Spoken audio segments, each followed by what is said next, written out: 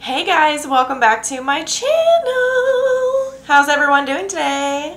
Uh, are you excited for today? So before I jump into what's going on, what's behind me, why I haven't uploaded in what, I think a week? Has it been a week? I think so. I do want to say that if you are new here, uh, welcome. Don't forget to hit that subscribe button down below and join the family over here. We have a lot of fun. We do a lot of colorful, creative, fun makeup looks over here. So if you're into that sort of thing, then join the fam down below. You won't regret it. It's a fun time. And if you're not new here, thank you so much for your support. I really appreciate it. It makes me feel better. All right, so let's talk about my new background. I have a new background now. Um, I'm still tweaking it a little bit. I'm still waiting for some things to come in the mail to spice it up a little bit. But I think what my problem was, why I haven't been wanting to film lately, is because my room is just so boring to be in. Like, I wanted something that was nice and cozy and like welcoming and really just warm and pretty and fun. And I just feel like what I had before wasn't it. It was just so white and just too cluttered I feel. I don't I can't even explain it how I felt to being in this room, but it really like tore down my my motivation, like my inspiration to just be in here and just sit and have fun. So also I've been noticing that with my makeup looks, I feel like my lights washed everything out so much and was just so bright that it wasn't doing my makeup looks justice and I really did not like that. So I've been tweaking my camera, filming, doing all kinds of stuff. I'm actually planning on doing a filming room, how I film, my filming setup video pretty soon. Um, just so you guys can see what I'm working with, some changes that I've made. I've made a big change to my ring light. I don't even know if you're going to be able to tell in this video. But um, yeah, I'm going to make a video explaining everything that I use, how I film, what I use, everything like that. So um, yeah, I'm going to stop blabbering on. I'm sure you guys didn't come here to hear about my background. I'm sure you came here for this makeup look. So if you like this makeup look and you want to see how I got it, then go ahead and just keep on watching. Okay, so I am of course priming using my Revlon Candid. Is anyone sick of hearing me say that yet? Because I am and I'm taking this all around town. I'm also not doing my eyebrow yet. I'm going to wait till my eye is pretty much done just so I'm not working around the shape of my eyebrow. My eyebrow's working around the shape of my shadow, if that makes sense. So I am first going to take the shade Blackberry, which I just hit pan on. It's kind of exciting, kind of scary at the same time. And I'm going to start this the way I always start my makeup looks, just packing this onto the outer corner, just getting my shape. Then I'm just going to drag that right under here just so when it comes time to do the under eyes, I kind of have like my basic layout. And then I'm just going to take this up pretty high. And then I'm going to start stamping it. This is going to just help it blend a little bit better. And then I'm going to take this same shade and put it on the inner corner as well.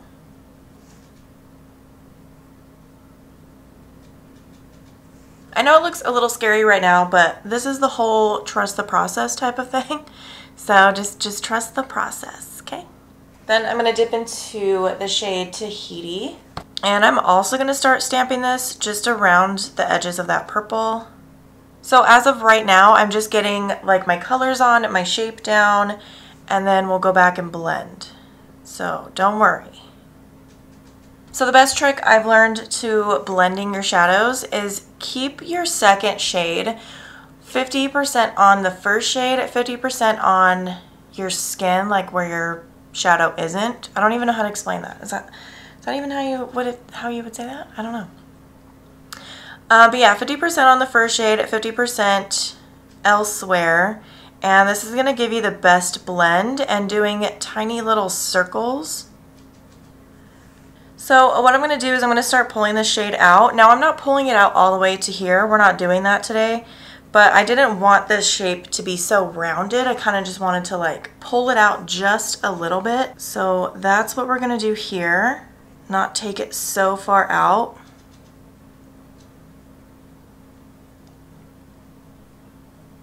So then I dipped into a different palette and this is my Pastels palette. This is by Beauty Bay. And this little palette comes in handy so much. Like if you're struggling in your palettes to find a shade to blend out a deeper shade, this is like the palette you need. So I'm just gonna take this purple shade here on a big fluffy brush and I'm gonna start putting that around all of these edges. Now because it is a pastel shade, it is gonna kind of take over the second shade that we laid down, but I'm gonna end up going back in with the same shades that I used anyway and just deepening things up, adding more pigment, blending. I do that with every look. So this is just gonna help us get a nice soft blend. I know it's a little bit difficult to see, but that's because it is a pastel shade, but it does help. It works tremendously. So this is the part where I like to go back in and like I said, just deepen things up, blend some more, all that good stuff. So I'm going to go ahead and do that really quick. I'm just going to speed this part up for you guys because it does take me a minute. But I'm just going to go back in with all the same shades, all the same brushes, in the same order, and just go hard on it, okay?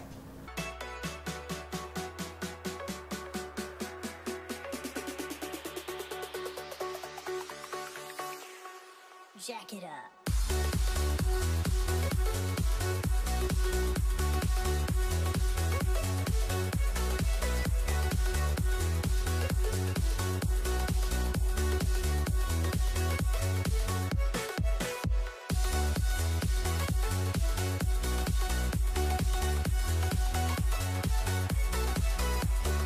Okay, so this is like the basic look. It looks insane, I know but it all pulls together. So what I went ahead and did next was I ended up cleaning up my line right here because I did go in with a yellow base paint and I didn't want the purple to mix with it. So I took a pair of clippers because I don't have anything else and I wrapped my makeup remover wipe around it and I'm just going to use that to trace along where I want this cut crease to be nice and clean. It doesn't have to be 100% perfect. I'm just trying to clean up all that excess purple. And then I'll just go back in with my finger and just clean up whatever's left over on the lid. Okay, so for the cut crease, I went in with my Beauty Creations Color Base Primer. This is in the shade Limelight. And then I'm just going to put that all on my lid and where we cut that crease out. And then just go ahead and fill in the rest of the lid. Don't take it all the way to the outer corner. The yellow in the Carnival palette isn't the yellow I was looking for. It's not my favorite yellow. So I went in with my Be Perfect Sunset Horizons palette and I used the yellow from in there. I used the shade Zest, this one. There's two yellows in this palette. I really don't understand why, but there is. I don't know. But this was the brightest one. So I'm just going to pop that all over that base. These bases are amazing. They really help a shadow like stick and really pop. They're perfection. I'm also tapping the shade on. I'm not swiping it on because I don't want to disturb the product underneath. So just light, easy taps. But look at how much that like made that eyeshadow pop. It does oxidize a little bit, like this side looks a little bit darker than this side, but so I'm going to take some more of that blackberry shade and we're going to clean up these edges. I always do this every time I do a cut crease. Just makes it look cleaner, more blended. It just looks all around better. I'm going in with blackberry and then a little bit of Tahiti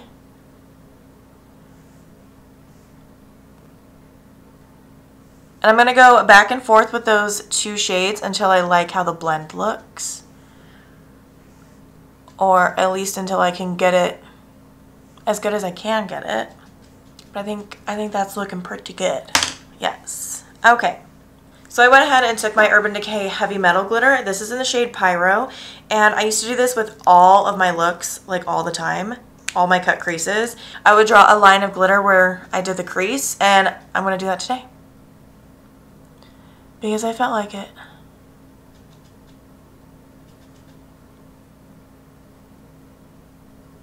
So I always say if you're using these to wait for the first layer to dry and then go in with the second one, it just works a lot better. So as I'm waiting for that to dry, I'm going to go in with another Urban Decay Heavy Metal Glitter. This is their glitter gel in the shade Distortion. So we're going to take just a little bit of that glitter. I don't want too, too much. I say that every time, but here I am. and I'm going to pat that right on this outer corner. I don't know if you can really see that. I don't know why my camera isn't zoomed in as far as it usually is, but here we are. But we're just going to pat that right on this corner. And while it's still wet, I went in with like a gold chunky glitter that I have. I got these on Amazon a long time ago.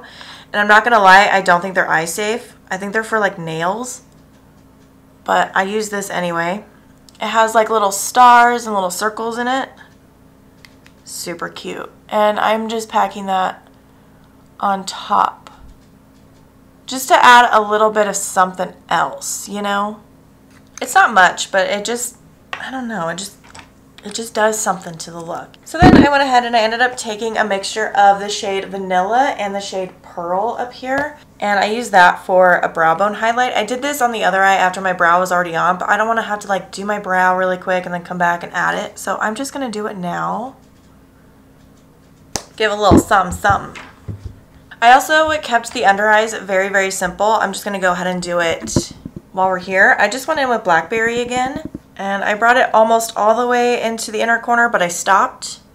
And then I went back in with Tahiti and I just blended this out. It'll look better once my base is on and everything is nice and set under here. It's going to look kind of messy until then. And then I went back in with my Sunset Horizons palette and I took the shade Mirage. It's a super pretty shimmery like gold yellow shade. And I used that for the inner corner.